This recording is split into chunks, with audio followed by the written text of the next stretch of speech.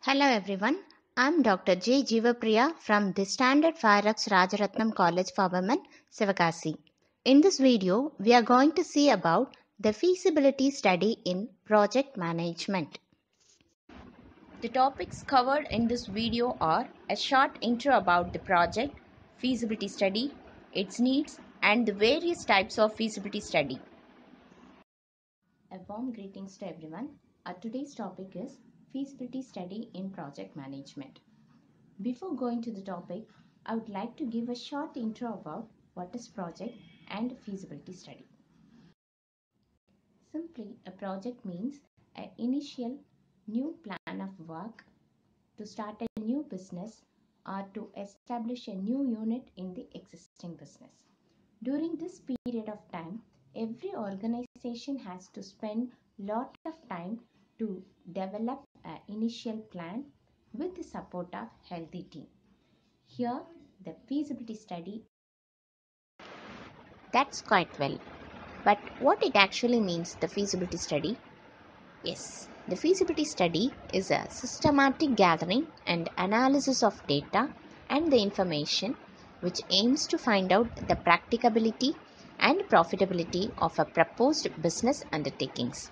And that's how it is used to determine the viability of a project idea.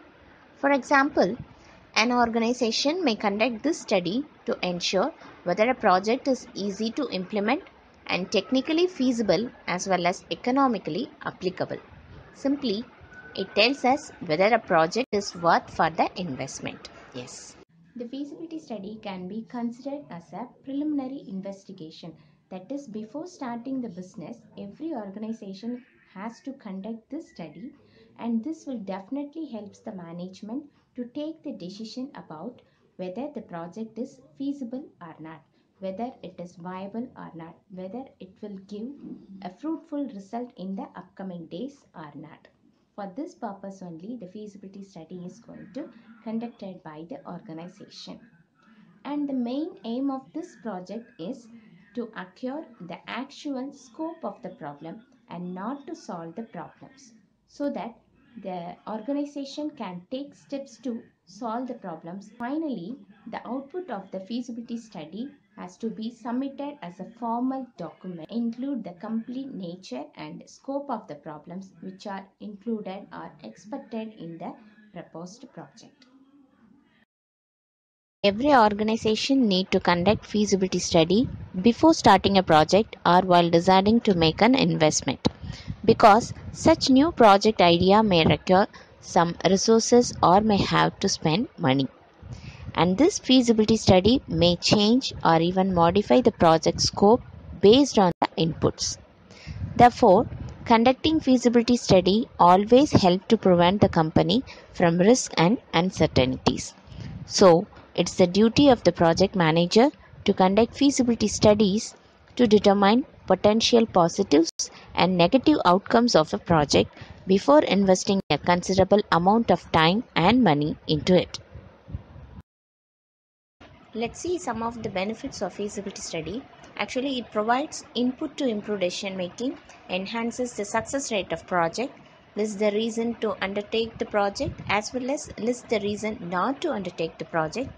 It helps to define internal and external project constraints and also helps to prevent the project from risk. The result of this study should summarizes the expected benefits which will be enjoyed by the project as advantages and foresee the troubles to be faced as disadvantages. This will surely support for the decision making and to demonstrate whether the project is doable or not with the historical background of the project in the report form of project study. The feasibility study will also investigate whether the forecast costs are reasonable, the solution is achievable, the risks are acceptable, and the identified issues are avoidable. To understand all those things, we are having five different types of feasibility study, namely technical feasibility, economic feasibility, legal feasibility, operational feasibility, and scheduling feasibility. Let's start with the technical feasibility. This assessment focuses on the technical resources what are all available to the organization. This will surely help the organization to determine whether the technical team is capable of converting the ideas into working system. See that's more important. So the technical feasibility involves an evaluation of hardware, software and other technology required for the proposed system to make it possible in a better way. Actually, technical feasibility is a broad concept which can be applied to the projects like software development, pipeline construction or even in the military projects also. Each project requires different technical specification and standards. As I said earlier, technical feasibility is the process of validating the technical resources and the capabilities to convert the ideas into working systems. For example, if a company is planning to improve the current network infrastructure, it should analyze the new system and should conclude to what extent the new system can use the organization's existing network infrastructure. This shows that a new system is technically feasible. Next one is economic feasibility. It is an evaluating the effectiveness of proposed project by using cost benefit analysis method. By using this method, an organization can identify how well or how poorly a project will be concluded. This assessment helps the organization to determine the viability, cost and benefit associated with the project before the financial resources are allocated for that particular project. And it also serves as an independent project assessment and enhances profit project creditability.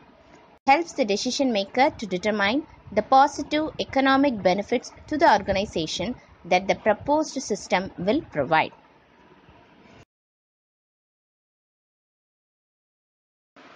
Actually, the main aim of the economic feasibility study is to estimate the economic requirements of proposed system before the investment funds are committed to proposal.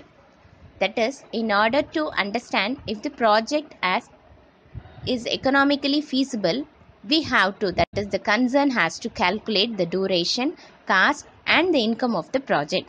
If the calculation demonstrate a short payback period, the board of directors will decide to undertake the project. So it performs the alternative which will maximize the net worth of an organization by earliest and highest return of funds along with lowest level of risk.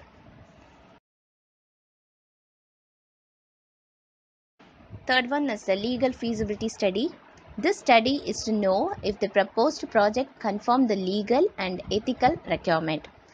This assessment investigates whether any aspect of the proposed project conflicts with legal requirement like zoning laws, data protection acts and against or against social media laws. It is more important to highlight that the project is following the requirements needed to start a business including business license, copyright, insurance and many other.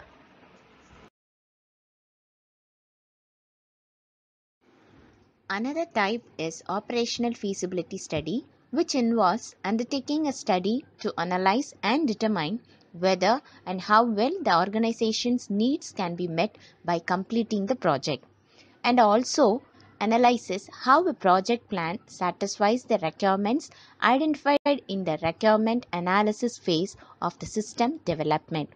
This study refers whether the system will be used effectively after it has been developed because the success of the operational feasibility is based on the issues such as managers support, proper training, using the workforce and adverse effect to users and customers. Simply, it analyzes whether the users will be affected or will accept the modified or new business methods. The last type of feasibility study is scheduling, which is otherwise called as time feasibility, which helps to measure how reasonable the project duration is. That is, it ensures the project should be completed within the given time constraint or schedule. So, completing a project on time is very important from an investor's perspective. If the project takes longer than the estimated time, investor will have to bear extra cost. So, it also verifies and validates whether the deadline of the project are reasonable or not. For example, an investor proposed a hotel construction project to his company. However, he requested that the project will be completed in one year.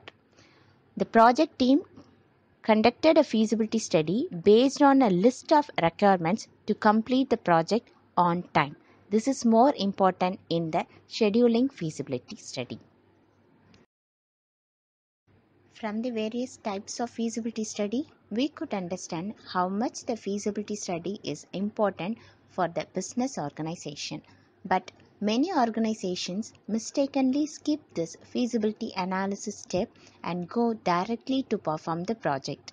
This leads to the failure of the project in many cases. Note that once decision has been made to proceed without having a proper feasibility study, it is very difficult to avoid the potential losses. Therefore, it is a good practice to conduct a feasibility study and create a formal report to know the nature and scope of the project and the smart ways to solve its possible risks and uncertainties. Thank you.